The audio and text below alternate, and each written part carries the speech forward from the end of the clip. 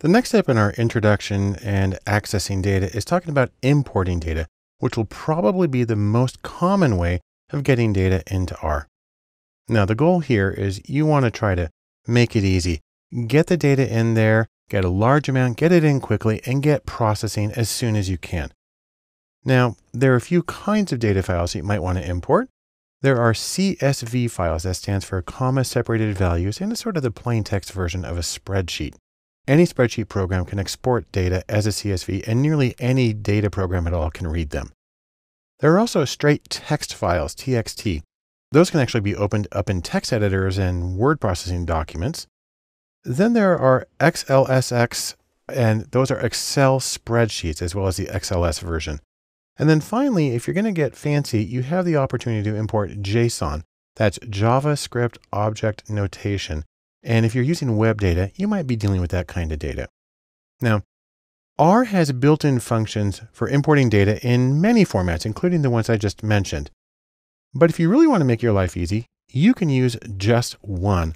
A package that I load every time I use R is Rio, which is short for R import output. And what Rio does is it combines all of R's import functions into one simple utility with consistent syntax and functionality it makes life so much easier. Let's see how this all works in R. Just open up this script and we'll run through the examples all the way through. But there is one thing you're going to want to do first, and that is you're going to want to go to the course files that we downloaded at the beginning of this course. These are the individual R scripts, but it's this folder right here that's significant. This is a collection of three data sets. I'm going to click on that. And they're all called MBB. And the reason they're called that is because they contain Google Trends information about searches for Mozart, Beethoven, and Bach, three major classical music composers. And it's all about the relative popularity of these three search terms over a period of several years. And I have it here in CSV or comma separated value format and as a text file .txt, and then even as an Excel spreadsheet. Now let's go to R and we'll open up each one of these the first thing we're going to need to do is make sure that you have Rio.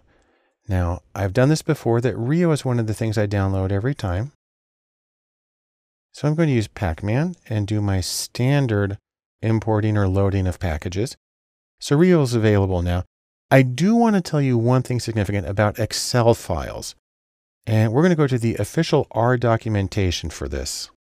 If you click on this, it'll open up your web browser and this is a shortcut web page to the R documentation. And here's what it says. I'm going to actually read this verbatim. Reading Excel spreadsheets. The most common R data import export question seems to be, how do I read an Excel spreadsheet? This chapter collects together advice and options given earlier. Note that most of the advice is for pre-Excel 2007 spreadsheets and not the later XLSX format. The first piece of advice is to avoid doing so if possible. If you have access to Excel, export the data you want from Excel in a tab delimited or comma separated form and use read.delim or read.csv to import it into R. You may need to use read.delim2 or read.csv2 in a locale that uses comma as the decimal point. Exporting a DIF file and reading it using read.DIF is another possibility. Okay, so really what they're saying is don't do it. Well, let's go back to R.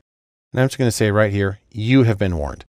But let's make life easy by using Rio.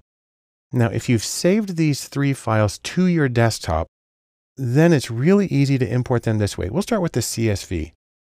We use Rio underscore CSV is the name of the object that I'm going to be using to import stuff into. And all we need is this command, import. We don't have to specify that it's a CSV or say that it has headers or anything we just use import and then in quotes and in parentheses, we put the name and location of the file. So on a Mac, it shows up this way to your desktop. I'm going to run that. And you can see that it just showed up in my environment on the top right. I'll expand that a little bit. I now have a data frame. I'll come back out. Let's take a look at the first few rows of that data frame. I'll zoom up and you can see we have months listed and then the relative popularity of search for Mozart, Beethoven, and Bach during those months. Now, if I want to read the text file, what's really nice is I can use the exact same command, import, and I just give the location and the name of the file. I have to add the .txt, but I run that and we look at the head and you'll see it's exactly the same. No difference, piece of cake. What's nice about Rio is I can even do the XLSX file. Now it helps that there's only one tab in that file and that it's set up to look exactly the same as the others. But when I do that, we run through and you see that once again, it's the same thing. Rio is able to read all of these automatically, makes life very easy. Another neat thing is that R has something called a data viewer. Now we'll get a little bit of information on that through help and you invoke the data viewer. Let's do this one. We do it with a capital V for view, and then we say what it is we want to see.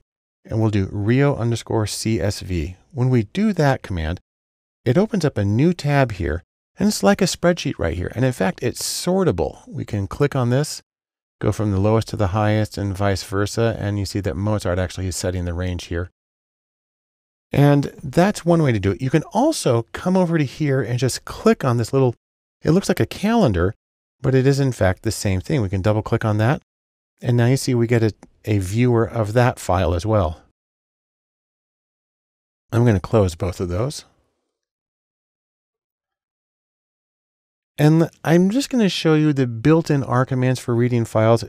Now, these are ones that Rio uses on its own, and we don't have to go through all this, but you may encounter these in a lot of existing code because not everybody uses Rio and I want you to see how they work. If you have a text file and it's saved in tab delimited format, you need the complete address, and you might try to do something like this. Read.table is normally the command, and you need to say that you have a header, that there's variable names across the top. But when you read this, it's going to get an error message and it's, you know, it's frustrating.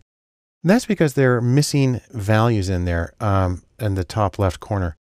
And so what we need to do is we just need to be a little more specific about what the separator is. And so I do the same thing where I say read.table, there's the name of the file in its location. We have a header. And this is where I say the separator is a tab. The back score says that indicate this is a tab. So if I run that one, then it shows up, it reads it properly. We can also do CSV. The nice thing here is you don't have to specify the delimiter because CSV means that it's comma separated so we know what it is. And I can read that one in the exact same way. And if I want to, I can come over here and I can just click on the viewer here and I see the data that way also. And so it's really easy to import data, especially if you use the package Rio, which is able to automatically read the format and get it in properly and get you started on your analyses as soon as possible.